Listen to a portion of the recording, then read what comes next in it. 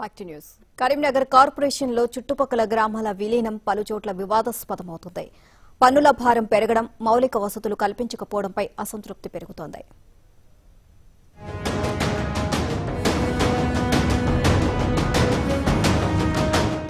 రాష్ట్ర రాజధాని హైదరాబాద్ తర్వాత తెలంగాణ రాష్ట్రంలో అత్యంత వేగంగా విస్తరిస్తున్నటువంటి నగరం కరీంనగర్. కరీంనగర్ నగరంలో ఉన్నటువంటి యాభై డివిజన్లకు తోడు చుట్టుపక్కల గ్రామాలను కలుపుతూ మరో పది డివిజన్లను యాడ్ చేయనుంది ప్రభుత్వం. అసలు నగరపాలక సంస్థల తీరుపై అధికారులు అదేవిధంగా ప్రజాప్రతినిధుల హామీలకు గ్రామస్తులు నగరపాలక సంస్థలు ఏమంటున్నారు? ఇదివలటి T five ground report.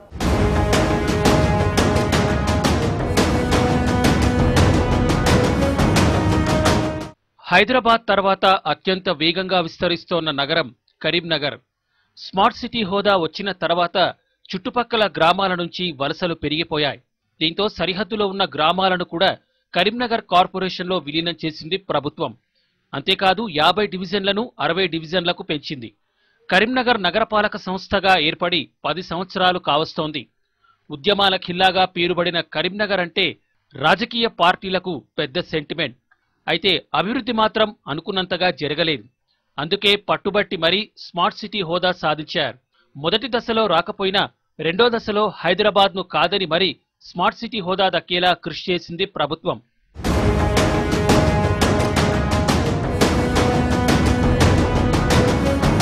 Smart city హోదా వచ్చిన తర్వాత కరీంనగర్ రూపురేఖలు మారిపోయాయి.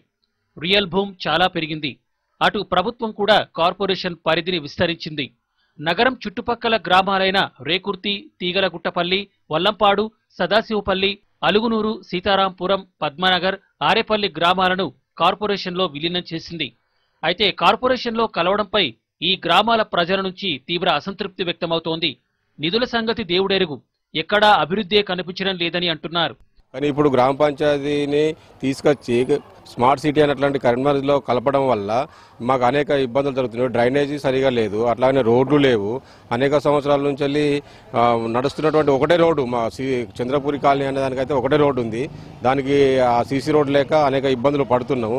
మేము ఈ సమస్యలు చెప్పుకోవడానికి మున్సిపల్ గ్రామ పంచాయతీ మున్సిపాల్కి వెళ్తే మేయర్ దొరకట్లేదు. అట్లాగనే ఆ సంబంధ విలేజ్కి సంబంధించినటువంటి సూపర్వైజర్లు కానీ ఏఈలు కానీ దొరకట్లేదు. గ్రామ పంచాయతీ ఉంటే బాగుంటుందని మేము అనుకుంటున్నాం. ఒకవేళ విలీనం చేసినా కానీ విలీనం చేసిన అధికారులు కానీ ప్రభుత్వం కానీ అధికారులు కానీ పట్టించుకొని ఈ సమస్యలు పరిష్కరిస్తే బాగుంటుంది. నల్లా కనెక్షన్ డ్రైనేజ్ బర్త్ మరియు డెత్ సర్టిఫికేట్ లాంటి చిన్న చిన్న సమస్యల పరిష్కారం కోసం కూడా కరీంనగర్ వెళ్ళాల్సి వస్తోందంటున్నారు ప్రజలు.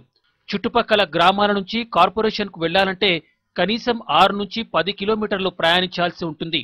ఇంత దూరం వెళ్ళినా అక్కడ ఉద్యోగులు అందుబాటులో ఉండటం లేదన్నది జనం వాదన. సమయంతో పాటు రానుపోను వెళ్ళి వచ్చేందుకు డబ్బులు ఖర్చవుతున్నాయని ఆవేదన వ్యక్తం చేస్తున్నారు. అదే గ్రామ పంచాయతీగా ఉన్నప్పుడైతే ఇలాంటి సమస్యలను వార్డు మెంబర్లే తీర్చేవారని అంటున్నారు. అక్కడ వీలు కాకపోతే ఎంపీటీసీ జెడ్పీటీసీలు అందుబాటులో ఉండేవారు. కానీ ఇప్పుడు ఒక్కరే కార్పొరేటర్. ఆయన కూడా ఎక్కడ ఉంటారో తెలియదని అసంతృప్తి వ్యక్తం చేస్తున్నారు. మా విలేజ్కి శానిటేషన్ పని ఏదైనా అత్యవసర అవసరం పడితే సర్పంచ్ కానీ ఎంపీటీసీ కానీ వార్డ్ మెంబర్ కానీ చెప్పిన వెంటనే మాకు పని అయిపోతుంది ఇలా కార్పొరేషన్లో విలీనమైన తర్వాత ఒక ఆఫీస్కు మూడు నెలల నుంచి ఆరు నెలలు తిరిగినా కూడా ఏ పని కూడా అసలు ఏ ఆఫీసర్ కూడా పట్టించుకుంటా లేడు. దాదాపు కార్పొరేషన్లో విలీనం చేస్తున్నామని ప్రకటించి సంవత్సరం గడుస్తున్న ఇటువైపు ఏ అధికారి రాకపోవడంతో మాకు మళ్ళీ గ్రామ పంచాయతీగానే మా గ్రామాన్ని గ్రామ పంచాయతీగానే ఉంచాలి తప్ప కార్పొరేషన్లో ఎట్టి పరిస్థితులలో మేము విలీనం కామని ఇక్కడ ఉన్నటువంటి గ్రామస్తులు కోరుతున్నారు. అయితే అధికారులు చేసినటువంటి తప్పు ఇటు ప్రభుత్వానికి మాత్రం తప్పడం లేదని అర్థమవుతుంది. ఇది ఒక గ్రామానికి సంబంధించినటువంటి వాదనే కాదు. కార్పొరేషన్లో విలీనమైనటువంటి ప్రతి గ్రామం గ్రామంలోనే ఇలాంటి పరిస్థితులు అయితే మనకు కనిపిస్తున్నాయి. కరీంనగర్ కార్పొరేషన్లో చుట్టుపక్కల ఉన్న ఎనిమిది గ్రామాలను కలిపి సంవత్సరం గడుస్తోంది. ఇప్పటి వరకు ఒక్క అధికారి కూడా తమ గ్రామాల్లోకి రాలేదంటున్నారు జనం. ఇక విద్యార్థుల చదువుల కోసం కులం ఇన్కమ్ సర్టిఫికేట్లు అత్యవసరంగా కావాలంటే వారం పది రోజులు కార్పొరేషన్ చుట్టూ తిరగాల్సిన పరిస్థితి. అయినా పని జరుగుతుందన్న నమ్మకం లేదు. డెత్ సర్టిఫికేట్ ఎవరి దగ్గరికి పోవాలి? బర్త్ సర్టిఫికేట్ ఎవరి దగ్గరకు పోవాలి? సామాన్య మనకు అవసరానికి వాటర్ పైప్ లైన్ కొరకు ఎక్కడికి పోవాలి? రోడ్ల కొరకు ఎక్కడికి పోవాలి? ఈ పారిశుద్ధ్య సిబ్బందిని ఎవరిని అడగాలన్నటువంటి కనీసం అవగాహన కూడా ఏ వాడలో కానీ విలేజ్లో కానీ ఎక్కడ కల్పించలేదు. మాకు నీళ్ళ సమస్య కానీ రోడ్ సమస్య కానీ దేనికైనా కానీ ఎప్పుడు పోయినా కానీ మా దగ్గర బడ్జెట్ లేదు బడ్జెట్ లేదు బడ్జెట్ లేదు. బడ్జెట్ లేనప్పుడు కార్పొరేషన్లో ఎందుకు కలిపిరు మాకు? అదే గ్రామ పంచాయతీలో పెట్టుకుంటే అదే ఇప్పుడు చింతకుంట బొమ్మకల్ అసొంటివి ఉన్నాయి కదా. దాని లెక్క మాకు కూడా ఒక సర్పంచ్ ఉంటే మాకు ఏమైనా పనులు అయితే అవుతుండే ఇప్పుడు డెత్ సర్టిఫికేట్ కానీ బర్త్ సర్టిఫికేట్ ప్రతి దానికి ఇబ్బంది పడతారు. అక్కడ ఎవరికి కలవాలి ఏం చేయాలి మా దానిలో రాదు మా దానిలో రాదు అని అందరు అంటారు. కార్పొరేషన్లలో కలిపిన గ్రామాల్లో బోర్లు చెడిపోయి నెలలు గడుస్తున్నా పట్టించుకునే నాదులు లేరు. అధికారులను అడిగితే ఫండ్స్ లేవన్న సమాధానం వినిపిస్తోంది. తమ కష్టాలు చూడలేక కొంతమంది రాజకీయ పార్టీల నేతలే సొంత డబ్బులు పెట్టి మరమ్మతులు చేయించారని చెబుతున్నారు జనం. అవసరానికి ఉపయోగపడని కార్పొరేషన్తో లాభమేంటని నిలదీస్తున్నారు. రోడ్లు లేవు మోరు లేదు ఏది లేదు పరిస్థితి మంచిగా లేదు. ఏదైనా మాకు కావాలన్నా కానీ సర్పంచ్ లేడు కార్పొరేట్ లేదు ఎవ్వరు లేరు పోయినా కానీ బాగా ఇబ్బంది అవుతుంది. మాకు ఏది కావాలన్నా చేపియాలి సారు? మీరు దయచేసి చేయాలి చేస్తేనే బాగుపడతాం. ఇట్లా మూరిలల్లా రోడ్లల్లా చెత్తల్లా చెదరల్లా ఉండు అవుతుంది ఏం వస్తలేదు సార్. నల్లలు ఇస్తున్నారు నల్లలు చూడలేరు సార్. ఆ నల్లలు చూస్తే పిడి చేసలేదు నల్లలు ఇడ్చలేదు ఏది లేదు సార్. మాకు అన్ని ఇబ్బంది అవుతున్నాయి. అలా మోటార్ ఖరాబ్ అయితే మా సొంతంగా జేబులోకి వెళ్ళి ఆరు వేల రూపాయలు ఖర్చు పెట్టి ఆ బోరింగ్ రిపేర్ చేయించి మళ్ళీ ఇస్తే ఇప్పుడు మంచినీరు తా తాగుతుండ్రు మా వాళ్ళు. అధికారుల దగ్గరకు పోయి ఫిర్యాదు చేస్తే మా దగ్గర బడ్జెట్ లేదు ఏది లేదు. మేము ఇప్పుడు ఏం చేయరాదు ఎలక్షన్ తర్వాతనే చేస్తామని చెప్పడం వల్ల ఈ గ్రామం గ్రామ ప్రజలు కాలనీవాసులు చాలా ఇబ్బందులు ఎదుర్కొంటారు కరీంనగర్ శివారులో ఉన్న సబ్ విలేజ్లకు ఇండ్లు మంజూరు చేసిన ప్రభుత్వాలు ఇప్పటికీ డ్రైనేజీ వ్యవస్థ మంచినీటి సౌకర్యాన్ని మాత్రం కల్పించలేదు.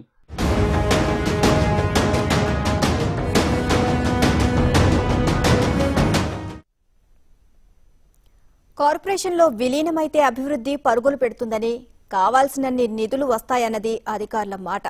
కానీ క్షేత్రస్థాయిలో మాత్రం పరిస్థితులు వేరుగా ఉంటున్నాయి. ఇలాంటి కొత్త పనులు జరగకపోగా పన్నుల రూపంలో అదనపు భారం పడడాన్ని జనం తీవ్రంగా వ్యతిరేకిస్తున్నారు.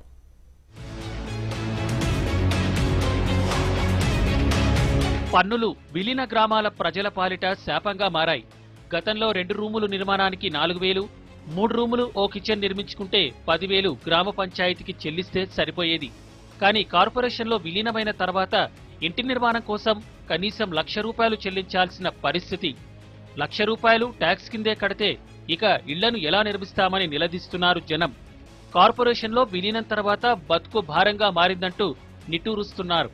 పన్నుల చెల్లింపులే తప్ప పనిచేసే వారికి కూలీ పెరగలేదన్నది వారి వాదన. ఇది యాభై గజాల ఇల్లు ఇది మనకి. ఎక్కువ సుగా ఏం లేదు. మన ఇప్పుడు పైన ఏదైనా రూమ్ వేసుకోవడానికి అంటే సుగా ఈ పర్మిషన్ తీసుకోవాలట ఇరవై వేలు కట్టాలట ఇరవై వేలు ఎక్కడి నుంచి తీసుకొచ్చి కడతాం సార్? మనం కట్టడానికే పైసలు లేదు ఉండడానికే ప్లేస్ తక్కువ ఉన్నది మనకి. ఇంకా అక్కడ మున్సిపల్లో కట్టడానికి ఏం పైసలు ఉంటాయి సార్? మన దగ్గర ఏం ఇప్పటిదాకా ఏం లేదు. ఏం యాక్షన్ తీసుకుంటారో మరి మున్సిపాల్ తీసుకుంటారా? మరి మనకి గ్రామ పంచాయతీ గ్రామ పంచాయతీ ఉంటేనే మనం బాగా ఉంటుందని మేము కోరుకుంటున్నాం సార్. ఇక్కడ ఉదాహరణకు మామూలు ఒక వంద గదాలలో ఇల్లు కట్టుకోవాలనుకునే ఉంటే అక్కడ ఉన్న సర్పంచ్ గ్రామ పంచాయతీ పర్మిషన్ తీసుకొని కట్టుకుంటుంది కానీ ఇప్పుడు అట్లా కాదు. ఇప్పుడు మున్సిపల్ పర్మిషన్ తీసుకోవాలి ట్యాక్సీలు పెరుగుతాయి. అక్కడ ఉన్నటువంటి సాధారణ ప్రజల మీద కూడా విపరీతమైనటువంటి భారాలు పడతాయి. అంతేకాదు అక్కడ ఉన్నటువంటి వ్యవసాయ కూలీలు ఉన్నారు ఉపాధి హామీ కార్మికులు ఉన్నారు రోజు పనిచేస్తూనే పొట్ట గడిచేటువంటి కూలీలు ఉన్నారు. దీన్ని నగర పంచాయతీలో అట్లాగే టౌన్లో కలపడం మూలంగా వాళ్ళు ఉపాధి కోల్పోయే ప్రమాదం ఉంది. కేవలం ఎనిమిది గ్రామాలనే కార్పొరేషన్లో విలీనం చేయడం వెనుక రాజకీయ నాయకుల కుట్ర కూడా ఉందని ఆరోపిస్తున్నారు ప్రజలు.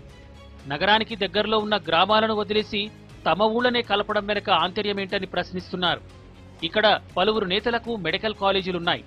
ఆ గ్రామాలను విలీనం చేస్తే ప్రభుత్వానికి కోట్లాది రూపాయలను ట్యాక్స్ రూపంలో చెల్లించాల్సి ఉంటుంది. అందుకే వాటిని పక్కన పెట్టి ఈ ఎనిమిది గ్రామాలను మాత్రమే విలీనం చేశారన్న ఆరోపణలు వినిపిస్తున్నాయి. కరీంనగర్ నగరాన్ని దశాబ్దానికి పైగా వేధిస్తున్నటువంటి సమస్య అండర్ గ్రౌండ్ డ్రైనేజ్ సమస్య. స్మార్ట్ సిటీ వర్క్స్ వచ్చినప్పటికీ స్మార్ట్ సిటీ వర్క్లు నడుస్తున్నప్పటికీ కూడా అండర్ గ్రౌండ్ డ్రైనేజ్ వర్క్లు నత్తనడకన సాగుతూనే ఉన్నాయి. ఇది ఎప్పుడు కంప్లీట్ అవుతుందా అని చెప్పేసి నగరవాసులు ఇంకా ఆవేదన వ్యక్తం చేస్తూనే ఉన్నారు. మరోవైపు స్మార్ట్ సిటీ వర్క్స్ పేరిట వర్కులు అయినప్పటికీ కూడా అండర్ గ్రౌండ్ డ్రైనేజ్లు ఇంకా పూర్తి కాకపోవడం వాటిని మళ్ళీ తవ్వడం స్మార్ట్ సిటీ వర్క్లకు సంబంధించినటువంటి పనులను మళ్ళీ దానిపై నుండి చేయడంతో ఇటు రెండు పనులకు కూడా డిస్టర్బ్ అవుతున్నటువంటి పరిస్థితి మనకు కనిపిస్తున్నది. అయితే అధికారులను ఇప్పటికే మంత్రులు అదేవిధంగా ప్రభుత్వం ఆదేశించినప్పటికీ కూడా గుడ్డు చప్పుడు కాకుండా కొన్ని కొన్ని చోట్ల ఆ రిపేర్ పేరిట యూజీడీ వర్క్లను ఇంకా రిపేర్ చేస్తున్నటువంటి పరిస్థితి కూడా మన కరీంనగర్లో చూడవచ్చు. కరీంనగర్లో అండర్ గ్రౌండ్ డ్రైనేజ్ వర్క్ మొదలై పన్నెండు సంవత్సరాలు గడుస్తున్నాయి. అయినా ఎక్కడ వేసిన గొంగలి అక్కడే అన్న చందంగా మారింది పరిస్థితి. ఇక ఈ పనుల పేరుతో ఎక్కడ పడితే అక్కడ రోడ్లను తవ్వేస్తున్నారు. కొత్తగా వేసిన రహదారుల రూపురేఖలు కూడా రాత్రికి రాత్రే మారిపోతున్నాయి. గ్రామ పంచాయతీ ఉన్నప్పుడే కష్టమవుతుంది అంటే ఇంకా మున్సిపాలిటీలో కలిసినాక పట్టించుకునే వారు తక్కువ అవుతారేమో. ఎందుకంటే గ్రామ పంచాయతీ అంటే ఒక సర్పంచ్ ఉంటున్నారు ఉప సర్పంచ్ ఉంటున్నారు వార్డ్ మెంబర్స్ ఉంటున్నారు ఎంపీటీసీ ఉంటున్నారు. వీరందరు కలిసినప్పుడే ఎంతో కొంత అవుతుంది కానీ మరి ఒకరే కార్పొరేటర్ అవుతే ఆ ఒక కార్పొరేటర్ ఏం చేస్తాడనేటువంటి మాకు కొంచెం చిన్నగా డౌట్ వ్యక్తం చేస్తున్నాం. దీన్నన్నిటినీ ఆలోచించి మరి ఏ రకంగా చేస్తే బాగుంటుందని చెప్పి మరి ఆది నాయకులు చాలా ఆలోచించాలి దీన్ని. కరీంనగర్ నగరంలో ఉన్న కిసాన్ నగర్ కావచ్చు శివాజీ నగర్ కావచ్చు సుభాష్ నగర్ కావచ్చు కోతిరాంపూర్ అల్కాపూర్ కాలనీ ఇటువంటి ఏరియాలో మంచినీళ్ళు కానీ రోడ్లు కానీ డ్రైనేజ్ కానీ కనీసం మున్సిపల్ చెత్త పట్టుకొని చెత్త వర్కర్ వచ్చి మున్సిపల్ చెత్త తీసే పరిస్థితి లేదు. పేదల కోసం నిర్మిస్తోన్న డబుల్ బెడ్రూమ్ల పనుల్లో వేగం పెరిగినప్పటికీ మరింత సమయం పట్టే అవకాశం కనిపిస్తోంది. ఎనిమిది గ్రామాల విలీనంతో ఇల్లు లేని వారి సంఖ్య మరింత పెరిగింది. మరి వీళ్ళందరికీ డబుల్ బెడ్రూమ్లు కేటాయిస్తారా అన్నది ఆసక్తికరంగా మారింది. కార్పొరేషన్ పరిధిలో మంచినీటి సమస్య తీవ్రమవుతోంది. తలాపునే మానేరు ఉన్న నీటి కష్టాలు వెంటాడుతున్నాయి. నగర ప్రజలకు ప్రతిరోజు నీటి సరఫరా చేయాలని ప్రణాళికలు రూపొందించినప్పటికీ సాధ్యం కాలేదు. ఓవైపు రోడ్ల విస్తరణ మరోవైపు అండర్ గ్రౌండ్ డ్రైనేజ్ పనులు జరుగుతుండటంతో మంచినీటి పైపులు తరచూ పగిలిపోతున్నాయి. మరమ్మతుల కోసం నెలల తరబడి సమయం పడుతోంది.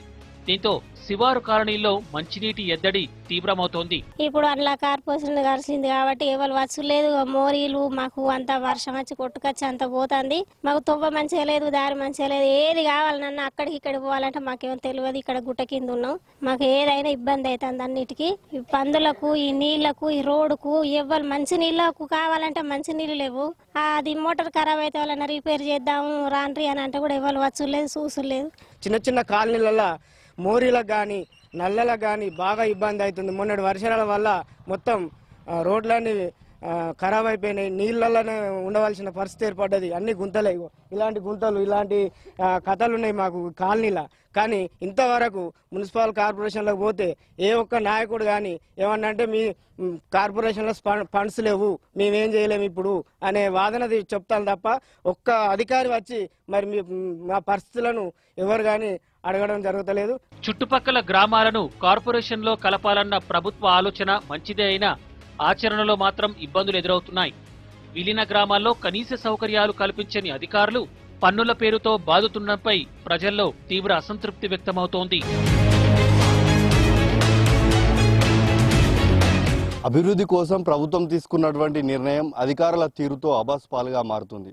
వెరిసి ట్యాక్సులు పెరిగాయే తప్ప గ్రామాలు ఎక్కడా కూడా అభివృద్ధి చెందడం లేదని చెప్పేసి గ్రామస్తులు ఆరోపిస్తున్నారు. కార్పొరేషన్లో కలిసిన వెంటనే ఎన్నో కోట్ల నిధులు వస్తాయని ఆలోచించాం తప్ప చిన్న చిన్న పనులు కావాలన్నా కూడా నగర పాలక సంస్థ కోసం కరీంనగర్ వెళ్ళాల్సినటువంటి దుస్థితి నెలకొంటుంది. ఇప్పటికైనా ఇటు ప్రభుత్వం ఆలోచించాలి లేదంటే అధికారుల తీరు మెరుగుపరిచైనా మాకు సకల సౌకర్యాలు కల్పించాలని గ్రామస్తులు కోరుతున్నటువంటి పరిస్థితి అయితే కరీంనగర్ చుట్టూతా ఉన్నటువంటి అంటే కరీంనగర్లో విలీనమైనటువంటి పది గ్రామ పంచాయతీల ప్రజలు చెప్తున్నటువంటి పరిస్థితి కనిపిస్తుంది.